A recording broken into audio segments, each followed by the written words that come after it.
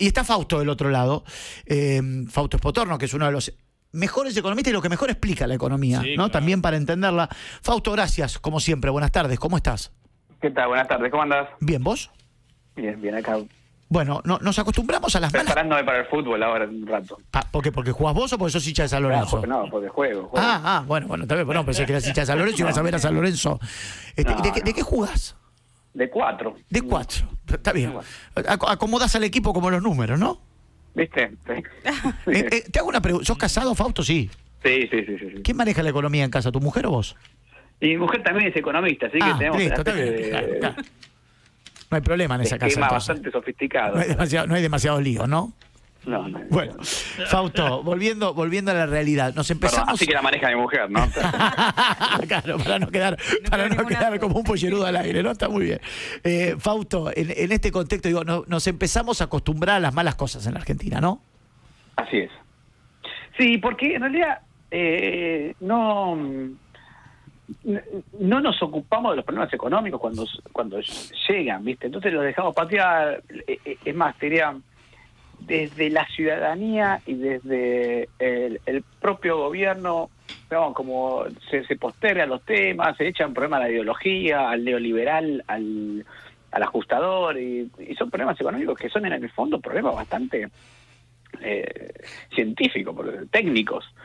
¿no? Entonces empezamos, el Estado empieza a tener déficit, emite dinero, después tiene inflación, naturalmente, y no, la culpa es de los empresarios que, eh, que- son especuladores. ¿Y por qué no especulaban antes? Bueno, ese tipo de preguntas no se hacen, y en vez de tratar de solucionar los problemas, tratado- tratamos de esconderlo bajo la alfombra, y después explotan. Ah, y explota, y cuando explotan la- le echamos la culpa a otro y bueno, después nos acostumbramos porque tampoco lo resolvemos y, y vamos por ese camino. Y hoy tenemos una economía que se ha deteriorado muchísimo. Es una economía, 100% de inflación no es chiste, no es fácil de frenar 100% de inflación. Cualquiera que piense que frenar 100% de inflación va a ser un paseo por el parque se equivoca. Claro. Y que te lo quiera vender te está mintiendo. Claro, claro. Eh, Y el problema, no, inflación son difíciles. sí. ¿eh? Y el problema, y el problema, este, eh, Fausto, es que ya nos acostumbramos a, a que mensualmente tengamos una inflación de 5, 6 barra 7 puntos y que sea normal, ya está. O sea, ¿cuánto es la inflación? 5, 6, 7, bueno, está bien. Y el mes que viene, ¿cuánto te da? Es 5, 6, 7. Y eso es daño al bolsillo, porque los sueldos siguen estando estancados, ¿eh? O cuando vos haces una paritaria 30, 40%, mientras tenés una inflación del 95%. No, pero y además lo que va a pasar ahora. Pero, pero fíjate cómo son los mecanismos con estos niveles de inflación. Esto, lo que sucede ahora es que el salario viene perdiendo como en la guerra. Sí. Y de hecho tenemos el salario más bajo en términos reales desde el 2002. Yo agarro el salario, le saco la inflación, me encuentro con que tengo el mismo nivel de salario real que en el 2002. O sea, desastre.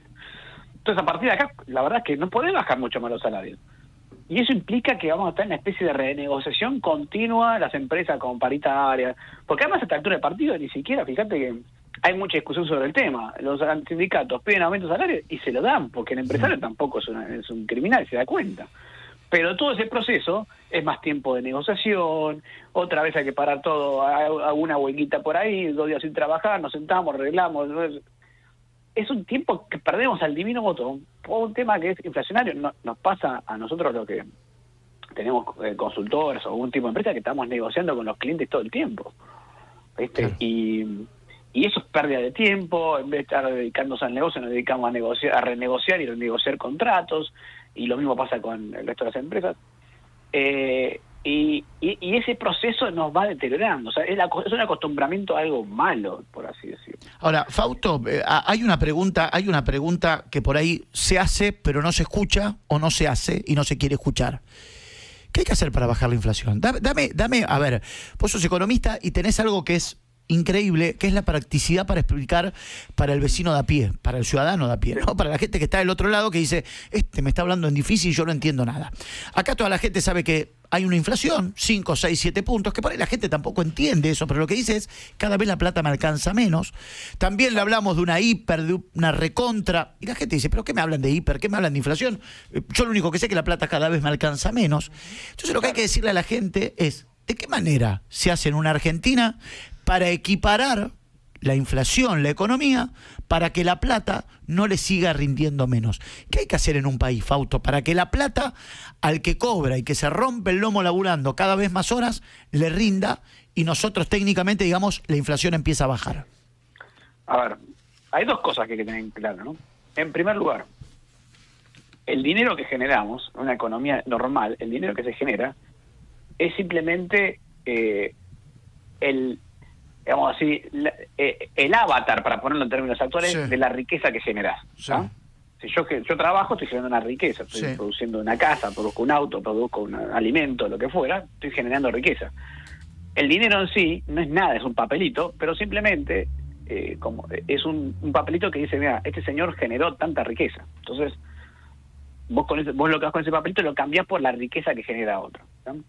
El problema es cuando el Estado, que es el que debería proveer ese papelito, porque la idea del dinero es, un servicio público que brinda el Estado, y que dice, mira, estos papelitos reflejan la riqueza que generó cada uno.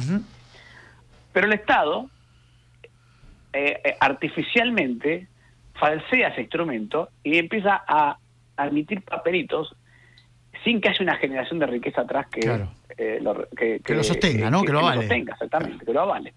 Entonces, en el medio, toda la riqueza que empezamos a generar nosotros empieza a perder valor. Vos vas con un papelito y el, señor que te cambia dice, pero yo no sé si generaste esta riqueza, porque hay un montón de papelitos dando vuelta. Por eso es tan dañino, eh, no solamente desde el punto de vista económico la inflación, sino que destroza la economía desde adentro. Porque eh, ya no representa la riqueza que generamos. Primer lugar. Entonces, hay que entender dos cosas ahí. El dinero bien usado es un representante de la riqueza que generamos. Ahora, mal usado distorsiona eso, y la única forma de distorsionarlo es cuando alguien en el medio crea papelitos sin que haya una generación de riqueza atrás. y eso es el Estado. Entonces, hay dos reglas, dos reglas básicas para frenar la inflación. Dos cosas que hay que tener en cualquier caso. Una, el Estado no puede seguir teniendo déficit fiscal es el déficit fiscal, es cuando el Estado gasta más de lo que le ingresa. ¿Y por qué no puede tener? Bueno, porque ese es el generador de los papelitos. O sea, cada vez que el Estado gasta 120, le ingresan 100, le faltan 20, naturalmente. Me ingresaron 100, quiero gastar 120, en la caja tengo 100 me faltan 20, ¿qué hago? Los imprimo. Entonces, en primer lugar, el Estado no puede tener más déficit fiscal porque siempre se va a ver tentado a... Eh, a, imprimir billetes. Tengo un amigo, amigo mío, que, que vive afuera, y él me dice que él va a vivir siempre y va cambiando de países. Yo vivo siempre en países que tengan equilibrio fiscal o superávit, o que sean Estados Unidos, Inglaterra o Suiza, me dijo. y la razón es, ¿por qué? Porque yo sé que en Inglaterra, Estados Unidos o Suiza el derecho de propiedad es intocable. Y la única forma que, la otra, otra única forma de garantizarme que mi derecho de propiedad no va a estar, no, no me lo van a tocar es si no hay déficit fiscal, porque mientras el Estado no pierda plata, no va a estar tentado a sacarte tu dinero Tal cual. monetaria. Tal cual. Eh, entonces, eso es importante, no puedes tener déficit fiscal. Y el segundo punto, que parece lo mismo pero no lo, es, no puedes emitir dinero, más dinero, por cualquier otra razón. Eh, sea esta, ¿por qué? Porque, por ejemplo, hoy el Estado no solamente tiene déficit fiscal el Estado, también tiene déficit el Banco Central. Entonces hoy, por más que el Estado quede equilibrado, mañana se un programa fiscal, se ordenan las cuentas públicas, etcétera, igual vas a tener al Banco Central teniendo que emitir plata, por ejemplo, para pagar los intereses de su propia deuda. Ahora, el Banco Central, vamos al Banco Central que no es el Estado. ¿El Banco Central qué tiene ingresos? ¿Cobra impuestos? No, no cobra impuestos. No. ¿De dónde saca los ingresos? Bueno, de lo, básicamente el único ingreso que tiene son los bonos del Estado, que le colocó en su momento el gobierno nacional, que dicen, básicamente son pagares que dicen pague Dios en el año, en el año 2060. O sea, no tienen nada. Y el otro lado tiene mucha deuda con la promesa de pagar hoy una tasa de interés efectiva de casi 100%. Claro. Para que la gente se quede en los pesos y no se vaya a los dólares. Claro, para que, para que los bancos, pero para, para estimular a los bancos a tomar más tasa. Pero eso en realidad, ¿de dónde va a sacar la plata para pagar sus intereses si no tiene ingresos? Claro. Entonces, eh, eh, lo que el mercado dice es, va a tener que emitirlos en algún momento. Claro.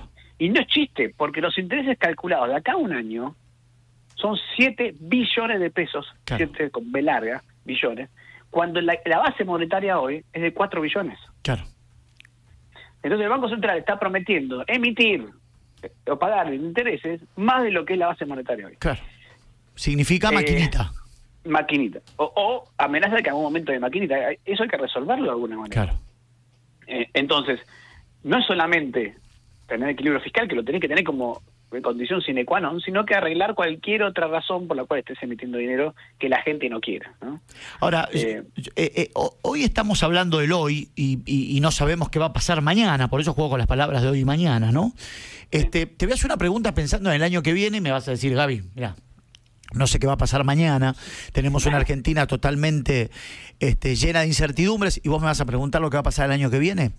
Yo lo que digo es, en este contexto, el año que viene, tenemos elecciones. Y cuando hay elecciones, llamémosle pan platita, llamémosle inserción de dinero para comprar votos o para convencer al votante. ponele, este, Fausto, el nombre que vos quieras. Si Hoy le estamos dando a la maquinita, como decía la abuela, trochimoche. ¿no? Este, la abuela decía así, trochimoche le estamos dando a la maquinita y estamos viendo números totalmente abismales. Yo veo que se dice que para el 2022 podemos llegar a tener un 95%, con lo que le van a dar a la maquinita un año electoral. Digo, ¿a qué Argentina estamos esperando?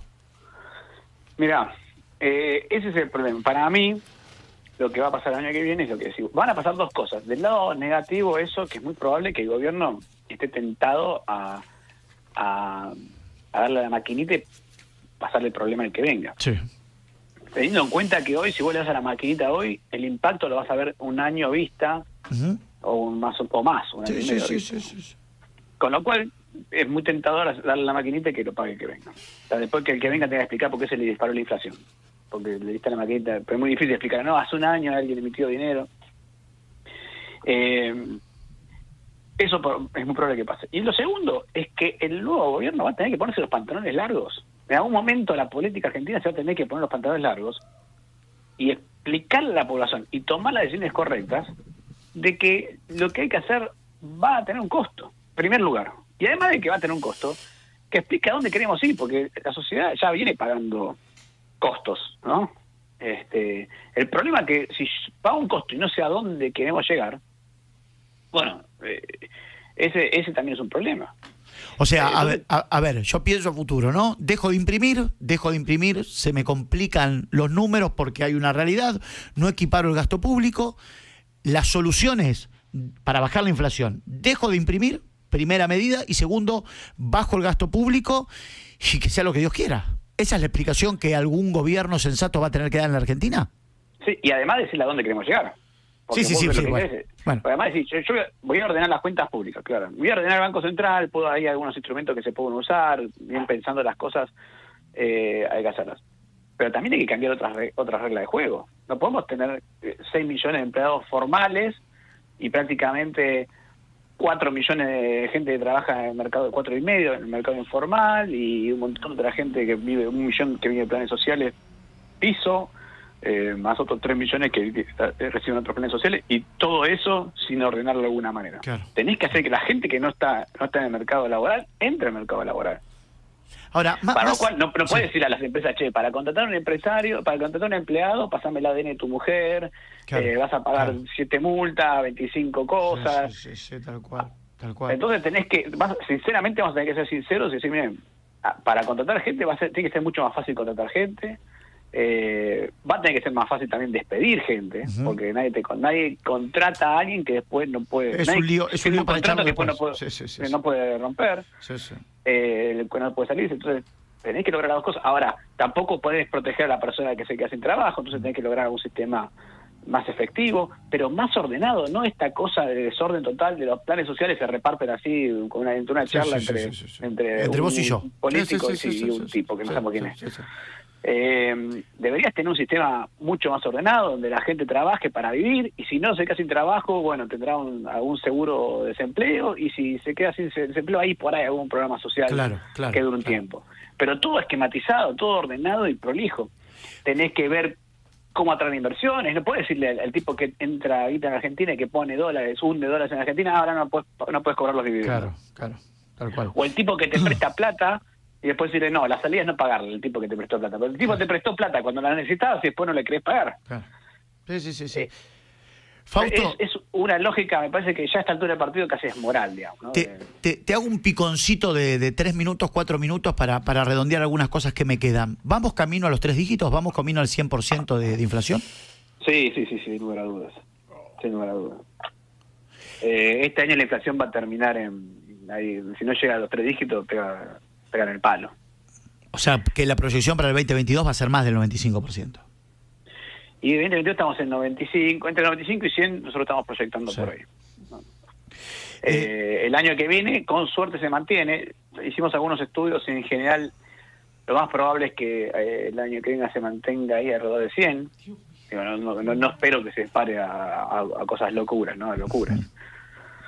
Este, pero es muy probable. Y, y, y lo que necesitas es empezar a pensar qué vamos a hacer después. Sí. Eh, más allá de los números de la inflación, que los alimentos se disparen en un 32%, ¿es lo más grave que le pasa hoy a la gente de a pie? Eh, bueno, no solamente los alimentos. ¿eh? Eh, lo que pasa es que los alimentos son los productos menos regulados. Pero indumentaria también sube mucho, electrodoméstico ni te cuento.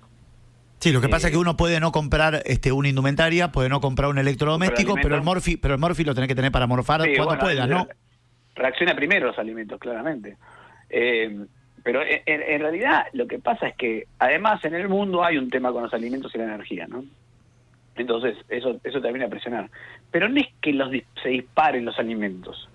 Si acá viene cualquier extranjero y te dice que está todo baratísimo. Es al revés, estamos destruyendo la riqueza.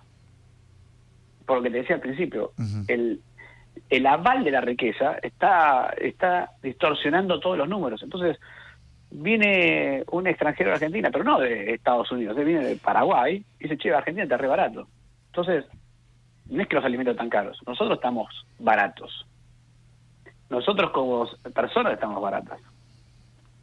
Y estamos baratos porque no estamos pudiendo generar riqueza eh, real y, y estamos todos, o mejor dicho, generamos la riqueza pero se la lleva todo el sistema hoy de- estatal, que es el que está capturando la mayor partida cantidad de la riqueza posible. Es un pulpo. Hoy, hoy Argentina se convirtió en un sector público que es enorme, que necesita un montón de recursos y, y no tiene ningún músculo. O sea, tampoco es que funciona bien el Estado, ¿no? es enorme, pero la seguridad anda, la educación anda, la salud anda. Eh, Fausto, por último, una, una pregunta que haría la abuela Ida, ¿no? Este, ¿Por qué cuando el dólar blue sube, viste que llegamos hasta 3.50, eh, los precios suben y corren este, al nivel del dólar blue, ¿no? Te dice, bueno, yo tengo que resguardar el precio porque mañana cuando quiero salir a comprar me van a comprar 3.50, por eso yo no puedo vender a 2.40, por ejemplo, ¿no? Entonces todo va aumentando. Ahora, cuando el dólar blue baja, que hubo una baja importante, primero bajó de, dos, eh, de, de 3.50 casi a 300, se instaló ahí en 2.90 y ahora casi que se quiere instalar entre 2.70 y 2.80, porque cuando el dólar blue baja, nadie baja los precios.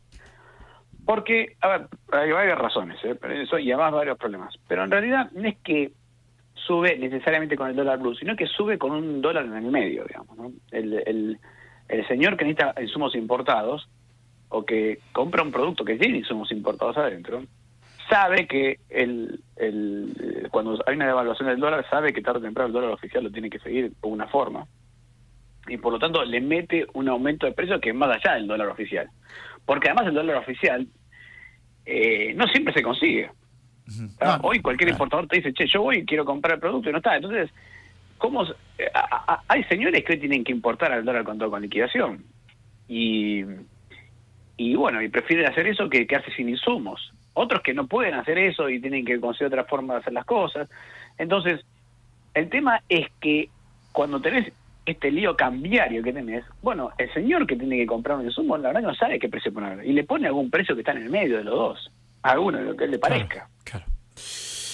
Qué locura. Bueno, Fausto, siempre es un placer escucharte. ¿eh? Gracias por esta linda charla. Abrazo grande, hasta luego. Gracias. ¿eh? Ahí está, Fausto Potorno, este Tommy.